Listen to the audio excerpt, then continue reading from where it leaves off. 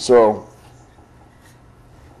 you got a cripple using a torch, and yes, this is probably just as dangerous as it appears, maybe even more dangerous than it appears. Um, but I can't feel my legs. What's the worst I'll do? I use a uh, little butane torch most of the time. Um, it's a little harder to fill though, um, and I can't get enough flame out of it to, heat up the aluminum here, so I'm going to use a propane torch. But I don't have a, uh, a propane torch with an electric igniter, so I'm going to use the butane torch as a lighter for the propane torch. Uh, but it'll give me an excuse to show off how I use both of them. There's a safety on the back of the butane torch. I got a little Bernzomatic. Um, I, I have looked at a few. Uh, this is the one that looked like it worked best for me.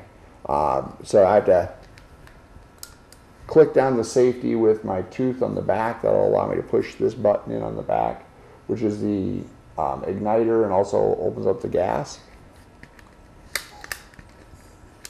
Sometimes it takes two or three times to get it to actually fire up.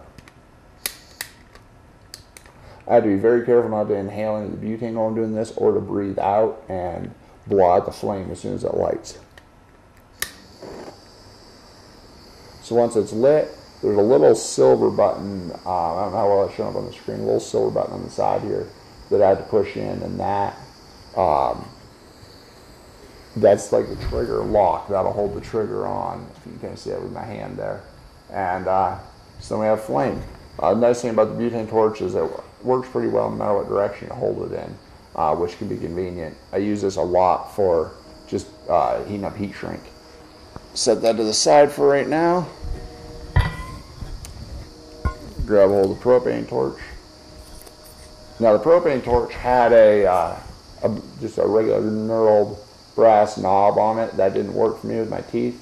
So I drew up a quick little wingnut looking uh, adapter here and uh, printed on the 3D printer. And that enables me to use my teeth to run the gas. Um, and once I break it open, I can actually use my fingers to just turn that um, extended knob.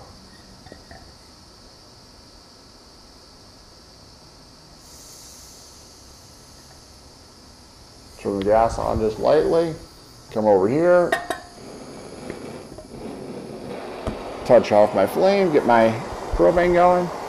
Set that to the side for a minute. Now this torch is way less stable than the butane torch. Um, grab the butane torch and you just click it again. And it's off. Set that to the side. I'm done with that for now. And now I'm going to move back to the propane. So there you have it. Cripple gets to play with fire.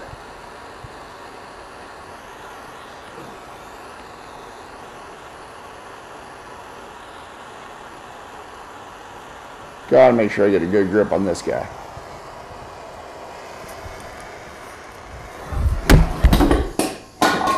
And that was bad. Luckily the flame blew out when I dropped it, so I'll pick that up and I'll be right back with you guys.